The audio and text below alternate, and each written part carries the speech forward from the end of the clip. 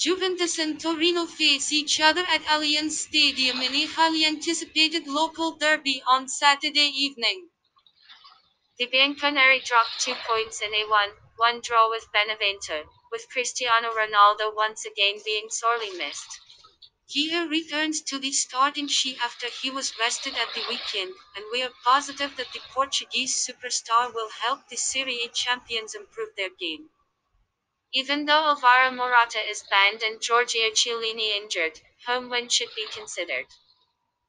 Torino experienced all sorts of problems at the back in a 2-2 draw with Sampdoria, which is yet another reason why we are tempted to put our money on the defending champions. Ujkani has been tested positive for coronavirus, while the likes of Gogic, Lukic, Baselli, and Vojvoda are all likely to miss the Turin derby through injury.